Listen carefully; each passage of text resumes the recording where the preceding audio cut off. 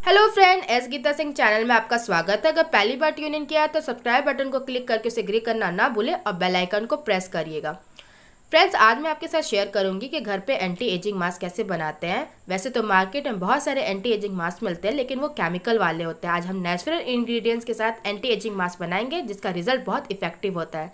सबसे पहले जान लीजिए कि एंटी एजिंग मास्क हम फेस पे क्यों अप्लाई करते हैं। आफ्टर ट्वेंटी फाइव हमारे फेस में फाइन लाइन्स रिंकल्स और डार्क सर्कल स्टार्ट हो जाता है, जिसके लिए एंटी एजिंग मास्क अप्लाई करना चाहिए। वर्ल्ड में जैपनीज वुमेन का फेस बहुत यूथफुल और यंग दिखता है, क्योंकि वो अपने फेस पे एंटी एजिंग मास्क अप्लाई करते हैं, जिनके कारण उनका फेस उनके रियल एज से टेन ईयर्स यंग ही दिखता है। एंटी एजिंग मास्क बनाने के लिए मेरा फ़र्स्ट इंग्रेडिएंट्स है राइस क्योंकि राइस में एंटी एजिंग प्रॉपर्टीज़ होता है।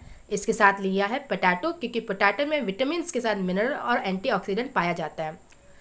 एग लिया है, क्योंकि एग में हमारी स्किन को टाइटन करने के साथ हमारे फेस से रिंकल्स को गायब करता है। मुल्तानी मिट्टी में वैसे भी सौंदर्य को इन्हेंस करने की क्वालिटीज़ होती है, इसलिए मुल्तानी मिट्टी का भी यूज़ करेंगे।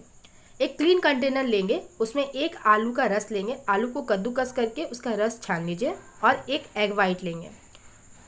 एक चम्मच राइस फ्ला राइस को पहले मिक्सर में पीस लीजिए, आपका फ्ला तैयार हो जाएगा। अगर राइस फ्ला ना हो तो आप पकी हुई चावल का भी इस्तेमाल कर सकते हैं। इसके साथ एक चम्मच मुल्तानी मिट्टी लेंगे, इन दोनों को अच्छे से मिक्स कर लीजिए, उसके बाद इसमें ऐड करें आलू का रस। तीनों को मिक्स करने के बाद ही हम इसमें एग वाइट डालेंगे।